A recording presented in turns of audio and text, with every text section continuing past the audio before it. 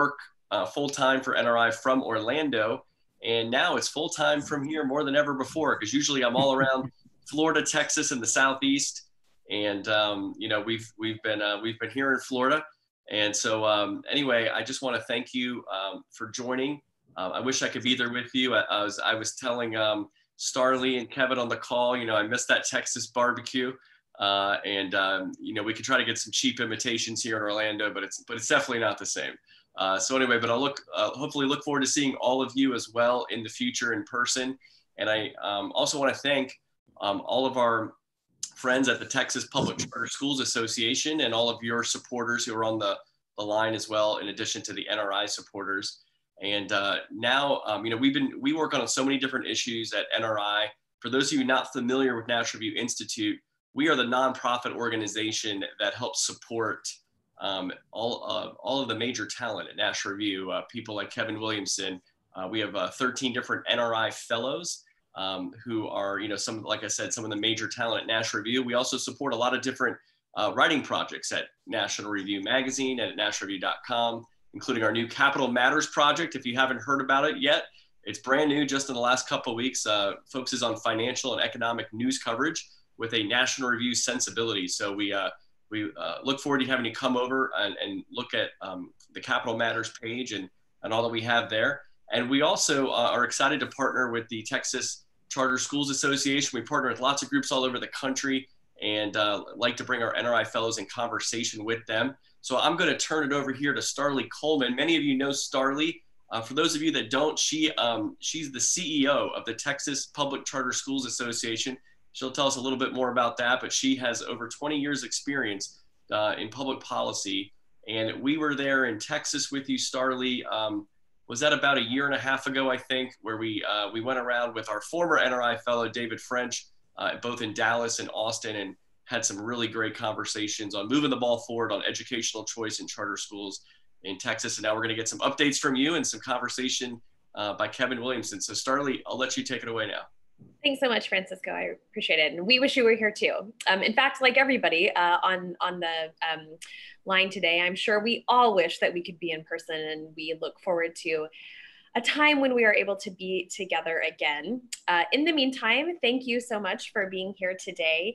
Um, we are really pleased to be able to partner again with the National Review Institute to host one of their terrific writers, Kevin Williamson, who also happens to be a Texan. Um, Texans are extremely proud of, of, our, um, of our fellow Texans, so we um, are grateful to have um, a great one in Kevin um, and uh, and are happy to claim all of his talents for Texas. So last month, Kevin wrote an article for National Review called the Collapsing Case Against Charter Schools, which was a review of the really incredible conservative thinker Thomas Sowell's latest book called Charter Schools and Their Enemies. Sowell's book crisply demonstrates that the arguments against charter schools are weak from any perspective anti-charter positions really can't be justified by data, certainly not by principle, and not even by public opinion. So Kevin's review of, uh, of his book crisply synthesizes Sowell's main points and the key data that he used to talk about how important charter schools are um, in the context of American public education today. So I have the pleasure of leading the statewide organization that protects charter schools here in Texas and having allies like Kevin help us continue to make the case on both data and principle is a really tremendous asset to our community. So Kevin, thank you so much for joining us today. We look forward to hearing your remarks and engaging in Q&A when you're done. So I'll let you take it from here. Thanks, Starlee. I'm. Um, it's always funny when I get invited to speak by an organization like yours because I assume that everyone you work with knows a lot more about this subject than I do. But when you when you write persuasively for a living, you get invited to talk about things that you know less about than the audience for some reason or the other. So um, I remember a couple years ago, I was invited to speak at the uh, annual meeting of the American Bankruptcy uh, Institute. I'd been writing a lot about municipal bankruptcies at the time. And uh, but I wondered why they they invited me to come speak. But I was surprised because it was such a large crowd that came out. But then I found out that Jay Leno was on after me, and uh, so that's what they were really there to see. So always important to keep your uh, actual knowledge and uh, expertise in perspective. I um, I'm glad you enjoyed the review of the Sowell book, which I recommend to everyone if you haven't read it. It's um, it's an excellent, straightforward presentation of the uh, facts of um, charter school performance in this particular study, which is pretty well tailored, I think, to be a um, as good an apples to apples comparison as you can find. I'm sure most of you have already seen this book, probably already looked at it. And uh, one of the things about this book, though, that I didn't really include in my review that I'll, I'll talk about a little bit now, I guess, which is the first sad piece of business that we have to get to, which is that uh, good results and good arguments, either arguments from data or arguments from principle or even arguments from public opinion, are not going to be enough to change the minds of people who are politically opposed to charter schools or politically allied with the enemies of charter schools and the entrenched financial interests that go along with the conventional public schools. Um, you will never, ever be good enough for them, no matter how good you are. Um, and, and, public opinion won't even help us that much either, uh, because as we've seen in a lot of examples, I think while people do tend to uh, broadly favor uh, not only charter schools, but other kinds of school choice programs, they don't really move uh, voters very effectively in most races, although we've seen a couple of cases where, where the, the interests of charter schools or other school choice programs have been successfully mobilized. But for instance, it's not going to probably much of a factor in a presidential race, in a governor's race, um, in a US Senate race, something like that.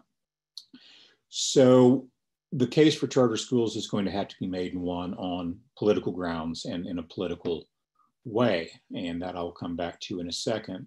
But before I talk about that, of course, it is important to acknowledge, I think, that the philosophical case for charter schools precedes the political case for them. And we have to establish that first before we really have a solid intellectual foundation upon which to build and move forward.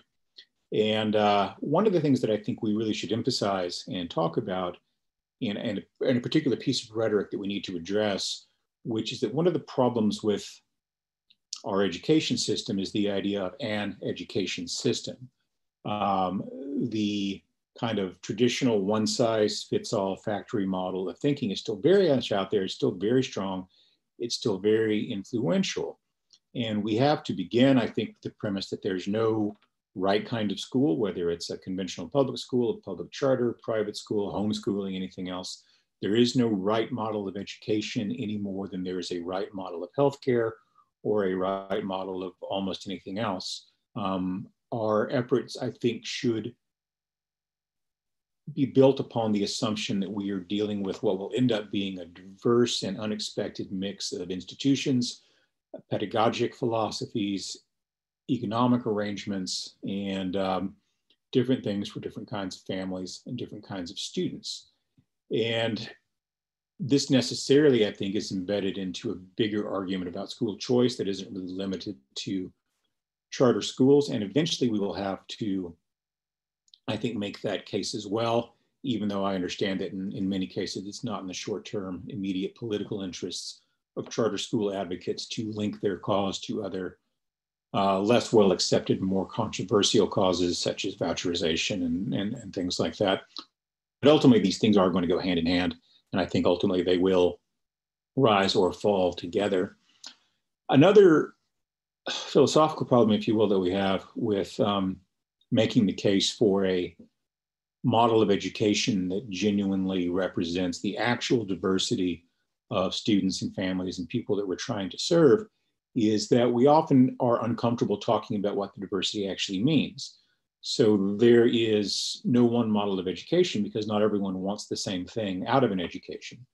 Uh, some people are looking for job training and life preparation. Uh, some people are looking for liberal education in preparation for additional liberal arts education at the university level. And these are very different uh, models of education. They're very different goals. They're very different outcomes. They require different kinds of curricula, different courses of study, uh, different kinds of faculty.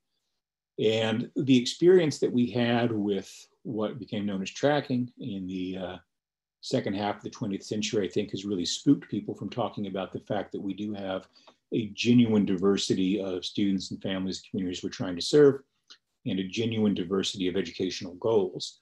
But I think we also at some point have to acknowledge that as well and talk about it obviously in a way that is sensitive and intelligent and to proceed in a way that is um, genuinely oriented toward trying to serve the best interests of the people who really rely on this for, for that kind of service. But we are still going to have to talk about some things that are controversial and somewhat uh, divisive. And that has to do with just the you know, nature of our excessively egalitarian and excessively democratic society. Uh, so, that being said, um, there's a line in, uh, or a couple of lines in Sowell's book that, um, that really got my attention and sort of organized my thinking on this. And if you don't mind my reading to them to you, um, he says that um, what we can do is consider in advance what kind of general principles and specific institutions seem promising. Perhaps the most important of these general principles is that schools exist for the education of children. Schools do not exist to provide ironclad jobs for teachers, billions of dollars in union dues for teachers' unions, monopolies for educational bureaucracies, a guaranteed market for teachers' college degrees, or a captive audience for indoctrinators. And um, with apologies to uh, Thomas Sowell, I don't say these words very often, he's wrong about that. Um, he is writing about what schools should exist to do. Uh, but the fact that, that is not what school districts largely exist to do, I do take a pretty cynical um, attitude toward the public school systems which again may not be very politically useful to uh, the defenders of charter schools, but it's what I actually think about this stuff, and that's all I really have to offer you. So we have to deal, I think, politically with the reality that public school systems are first and foremost patronage programs. Um, they exist to do the things that Thomas Sowell says that they don't exist to do. They do exist to provide above market wages for uh, certain kinds of political constituencies to provide accountability free jobs, lots of union dues, which get laundered into political contributions, all the rest of the things that you uh, typically think about with that. And we simply can't uh, allow sentimentality or idealism to cause us to ignore out of existence those facts because you can't ignore them out of existence. They remain facts whether you accept them or, or don't accept them. Um, was a small town newspaper editor for a long time. And one of the things I learned from that is that school districts and school boards in particular are um, shockingly incompetent and, and more often corrupt than you would think. Uh, in my experience, more often corrupt than other kinds of local government or other kinds of even state and federal government.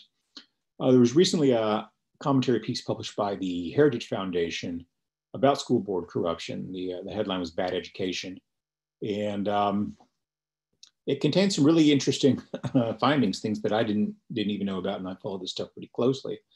Uh, so, for instance, schools um, recruiting athletes from outside of their district because they care about athletic performance, um, going so far as to arrange uh, jobs for members of their family and uh, housing and that sort of thing in order to get those kids into their um, into their school districts for purely athletic purposes, which of course doesn't serve uh, much of any obvious uh, educational goal. Um, you know, manipulating graduation rates, um, falsifying school records and evidence, that kind of thing. And um, altogether, these add up to a pretty uh, damning and worrisome picture of how public schools and particularly school boards actually operate. And uh, you know, I remember seeing this in a, in a relatively wealthy uh, suburban school district outside of Philadelphia, where you would see projects bid at a hundred million dollars and the bid document is you know, 500 words or something absurdly vague and it ends up being a 300 million dollar project instead of a 100 million dollar project. And this stuff kind of happens uh, one piece at a time.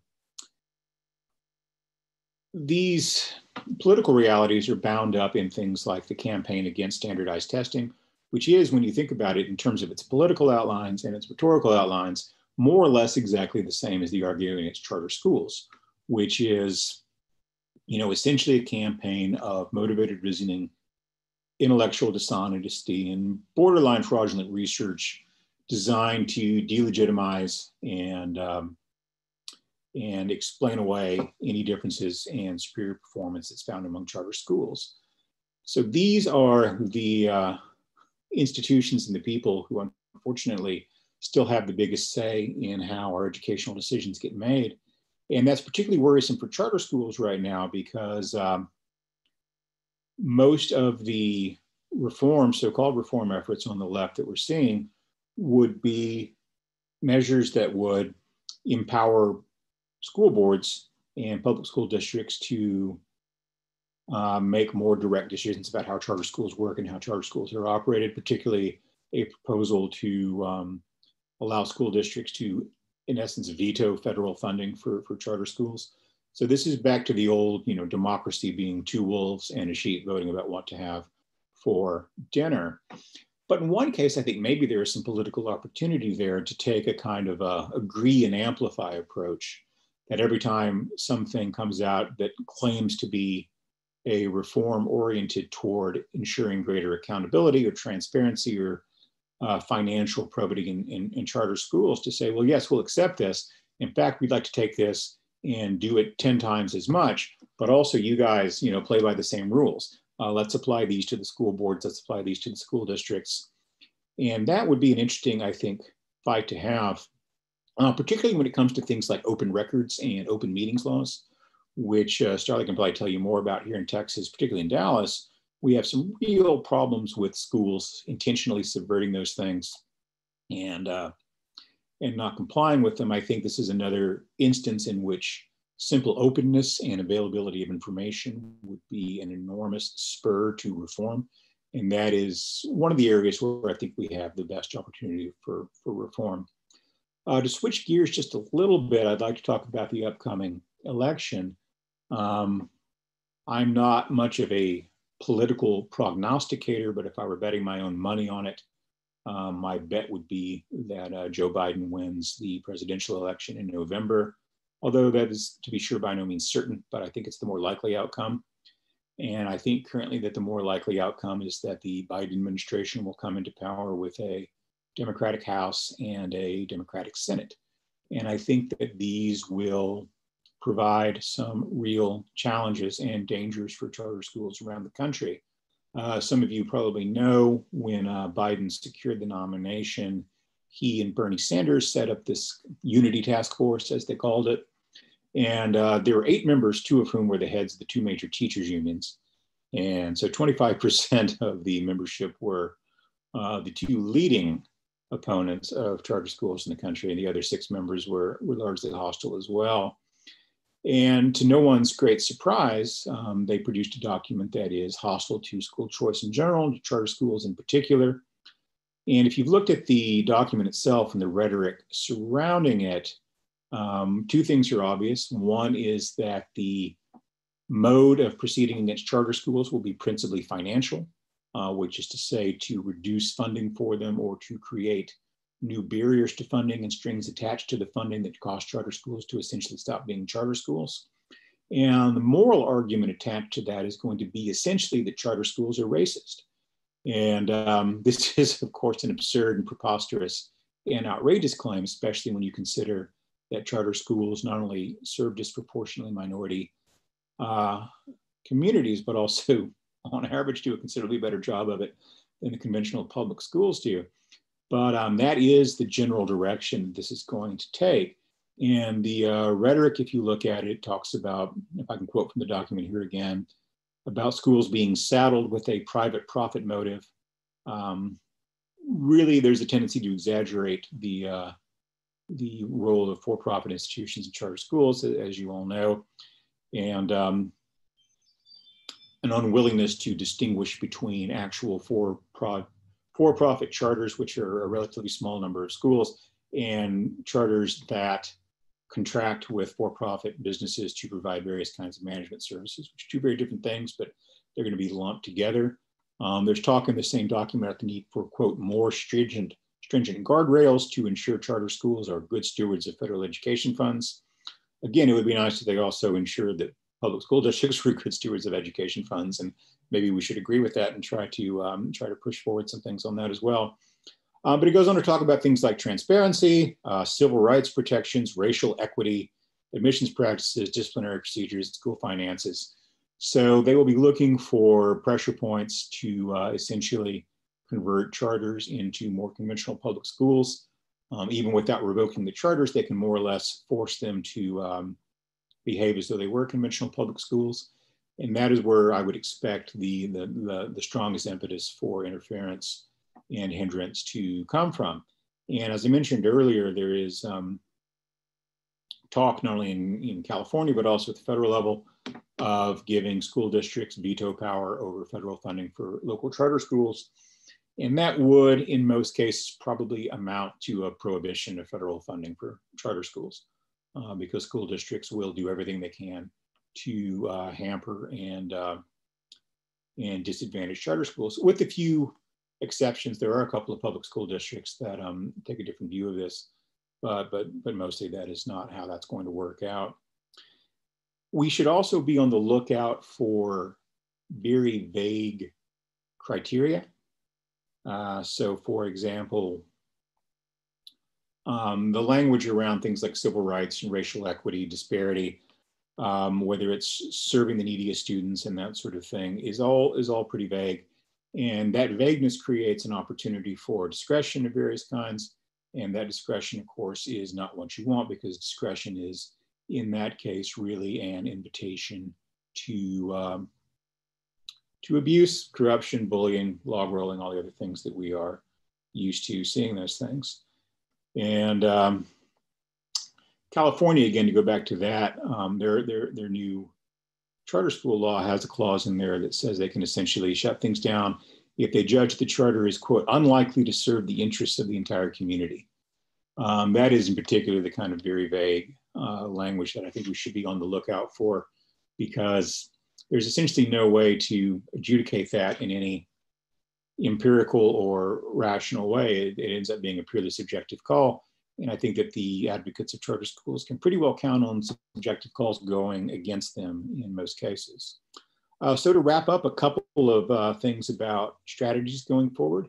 Um, one is that litigation is going to play a big role in this, and we will have to support pro-charter litigation in California and, uh, if necessary, in Texas and around the country. Um, Indiana, I guess, has a case going on, and everywhere that there is, um, you know, pro-charter school litigation, it's going to require both political and financial support. Um, again, we should really make an effort to keep these very vague uh, performance criteria from being written into the law. To the extent that we can make it uh, some objective measure, uh, we should um, force that issue as much as it's possible to do. Uh, we should be looking at changes in higher education right now, mostly in response to the coronavirus epidemic, and think about ways in which charter schools can better integrate themselves into a kind of contiguous system that uh, feeds into that. I know in Utah, there are two very popular uh, online charters, one of which has seen a thousand extra applications uh, this year over what they saw last year, the other which has seen 1,500 more. So there's a great deal of uh, demand in the market for that kind of service right now. And we should certainly be looking at ways to figure out what the new normal is and figure out how charter schools can be of the most use and the most service uh, in that new normal. And again, we don't really know what that's going to be, which brings me back to my opening point that we have to keep ourselves open to a diversity of outcomes, a diversity of models, and a, and a diversity of solutions. So, as I said before, I think that the um, political problems facing charter schools in the near term are serious. I think that the need for reform is urgent. And while I certainly understand that uh, charter schools and their advocates have their own immediate political interests that need defending. I hope that eventually they will grow out of their more defensive posture and into a more robust positive advocate for fundamental reform of our education system across the board in ways not merely limited to the case of public charters. So again, thank you for your time and for your attention. I hope this has been of some use and I'll be happy to take your questions now.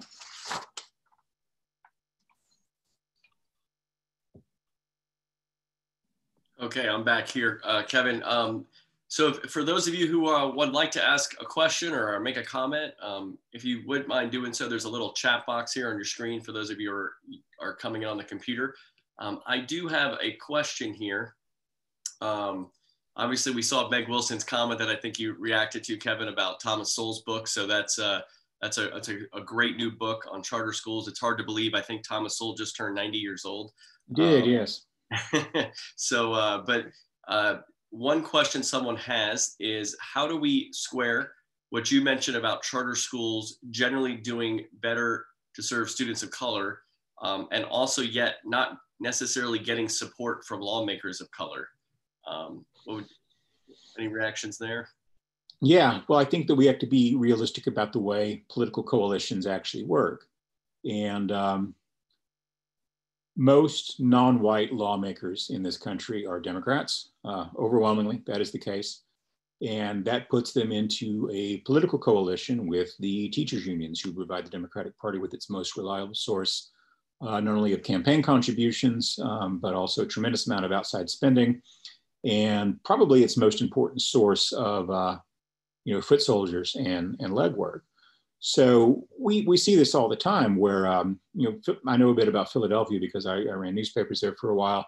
And um, among African Americans in Philadelphia, who are a large part of the population, there's a tremendous amount of support, at least on paper, for school choice of all kinds, not only charter schools, but vouchers and, and other sorts of things.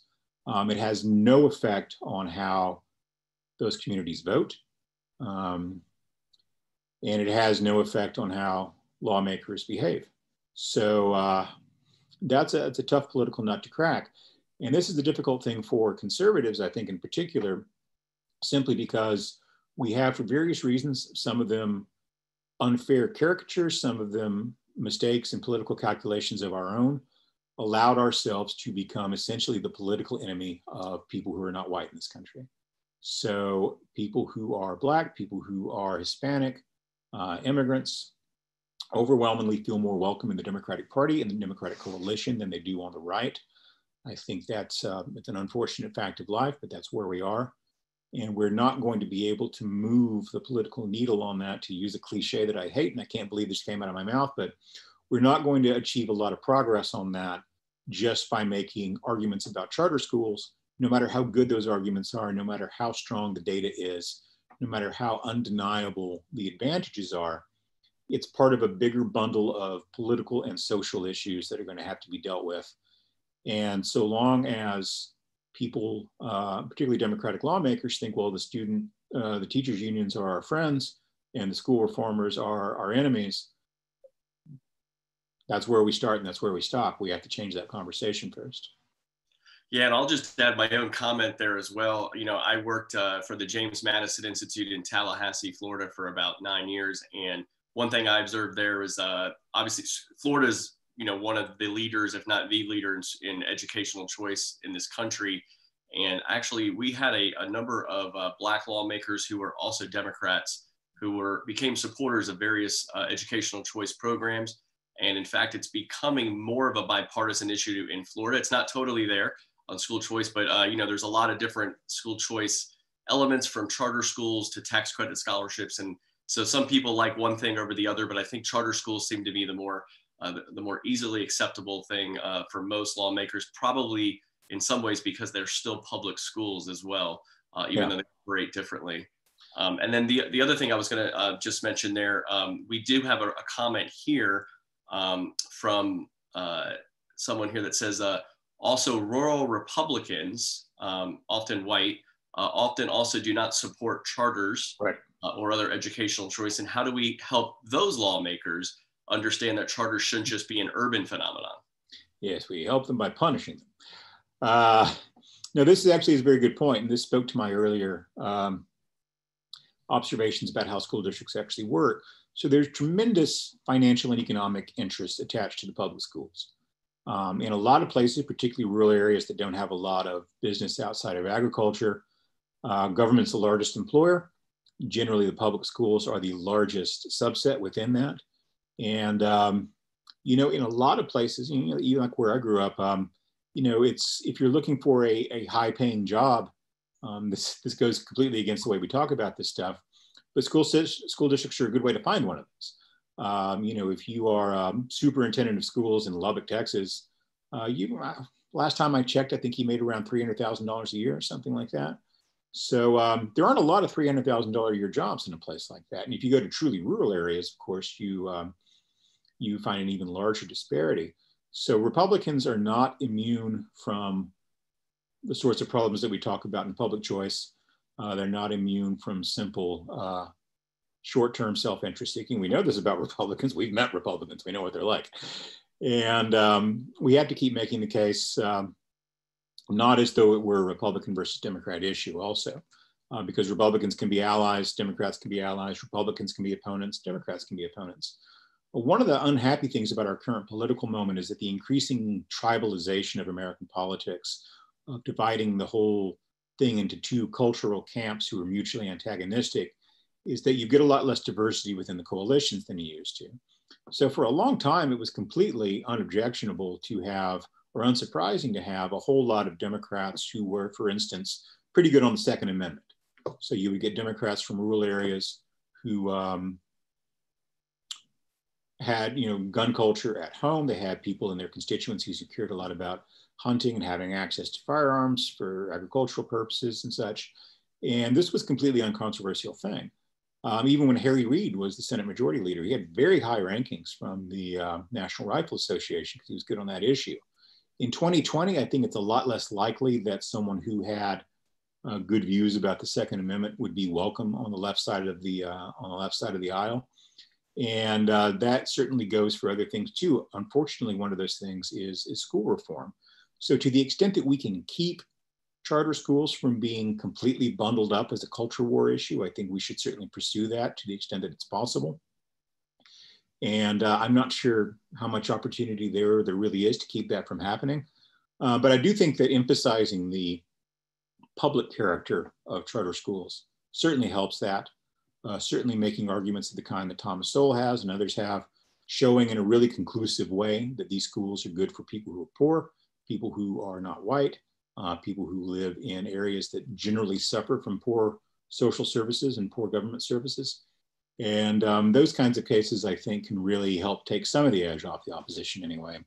Although, again, you're dealing with a form of coalitional politics that's really very difficult to budge. Kevin, uh, last summer, NRI actually did a program in Dallas uh, where you were featured along with Mark Janus. And hmm. so um, that I thought about that because I see Meg Wilson's question here. Meg's down in Austin, but she says, "How do we get more information about the Janus decision to regular school teachers, uh, which could potentially drive uh, the move to charters in the long term?" You know, when I first started writing uh, opinion journalism, I was worried about being repetitious. Um, have already written this column before, some version of this column before. What I've learned over the years is that people need to be told 20 or 25 times before they really start to get the message on something. Um, and this is not to be condescending, it's perfectly reasonable. You know, people have lives of their own. They don't spend all their times thinking about public policy and political problems. Um, this is what economists call rational ignorance. Uh, people don't uh, have moonlighting positions as public policy researchers and advocates and that sort of thing. So I think the thing to do to get information to teachers is to get information to teachers, to um, keep sending them mailings, keep sending them emails, keep sending them communications, keep having speakers come talk about this stuff. Get Mark Janus to come talk about it, or Jack Fowler, who wrote the article for National Review about that decision. Um, you know, there's the question of advocacy, but there's also the pre-existing issue of simply informing people about things and informing people about things is a really difficult and expensive proposition. I know I used to run newspapers. We tried to inform people about stuff that costs a tremendous amount of money and you receive very little thanks for it. So um, repetition helps, and uh, but keep in mind that this is going to be a years long project of getting people simply to understand the basics of what their rights are, what the actual uh, legal situation is under Janus, and um, killing off the myths and uh, preconceptions about what people's legal duties and obligations are and what their relationships to these labor unions actually is will take a very long time and we should uh, go into this you know, knowing that it's going to be a long fight. Kevin, I've got a question here from Lee Danner down in Houston. I miss seeing Lee. I know we, we all missed the National Review Cruise this year, which Lee's usually on, but uh, yeah. uh, he says, is the, uh, I think he's referring to Los Angeles, the LA uh, Teachers Union really serious with their demand to stifle charter schools by reducing police funding um, before they will return to work, and also asked how this is all related to the COVID 19 pandemic. Um, I'm not sure about the relationship between the police funding issue and, and charter schools. So this is something that um, I can't really speak to. I can tell you that the California teachers unions and in Los Angeles in particular are very serious about uh, stifling charter schools. Um, they would abolish them tomorrow if they could, uh, creating a situation in which the school boards have veto funding over non-local funding for, or veto power over non-local funding for charters is um, going to amount to essentially a prohibition of, of federal funds for charter schools. So um, COVID contributes to this in the sense that emergencies always create political opportunities. You know, this goes back to Robert Higgs and Crisis and Leviathan and all those arguments that we all know so much about. That um, every time there's an unfamiliar situation with a genuine emergency, uh, genuine social disruption, genuine institutional disruption, it creates opportunities for change, uh, positive change or negative change. Unfortunately, we, we suffer from the uh, ongoing problem of you know, distributed costs versus uh, or concentrated benefits versus distributed costs. So the people who are opponents of charter schools have very strong personal financial reasons to be at the forefront of this fight. And they have very strong personal financial reasons to bully state, local, and national officials into going along with them people who are acting for more general principles as part of a broader campaign of social reform, um, but who aren't going to lose a paycheck if things don't go their way, simply don't have the same incentives. And um, you add that to the fact that we were talking about earlier that public schools are enormous employers, they're economically important to a lot of communities. It's a politically very difficult situation to deal with. Francisco, if I could just jump in. Um, for one second on this. One of the things that I think is fascinating too about this issue of um, uh, unions striking over, um, you know, COVID, seemingly COVID related stuff. Um, one of the things that I think is really fascinating is about 10 days ago, the, um, the president of the biggest teachers union in the country, the American Federation for Teachers, um, uh, issued um, a statement saying that they had authorized teachers in Florida, Arizona, and Texas to strike uh, over um, over over COVID related stuff. Now, there's a couple of things that are fascinating about those three states in particular. One is um, all of them uh, in every single one of those states, it's illegal for teachers to strike. Um, the second thing is um, all of those states are um, swing states in the presidential election this year.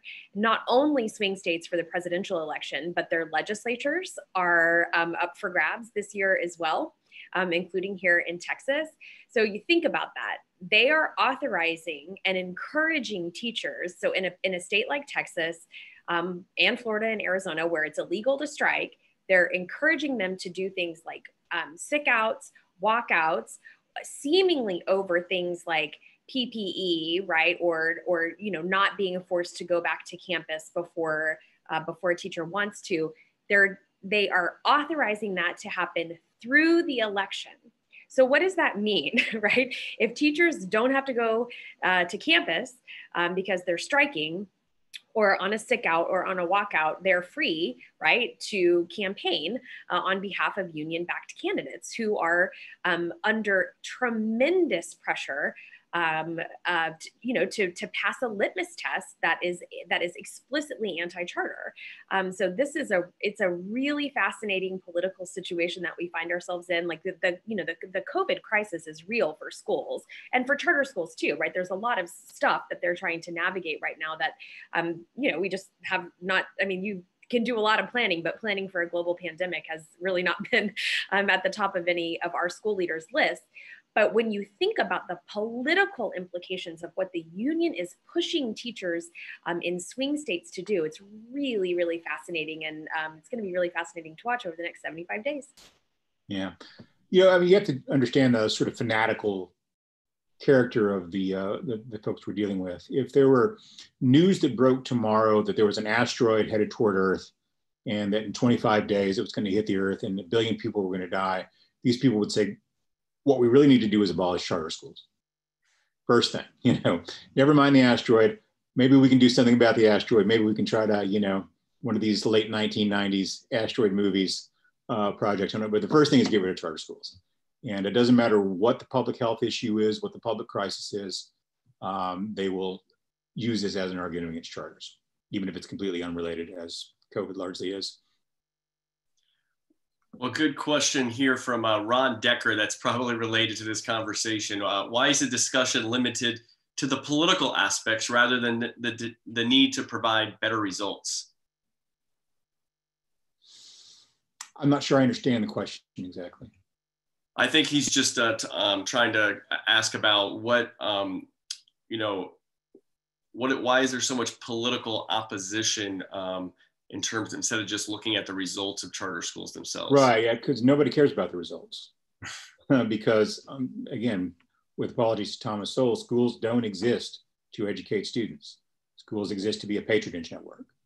And um, hopefully we can get this patronage network to provide some decent educational results. A lot of them do. But um, you know, politically, economically, that is that is where things are.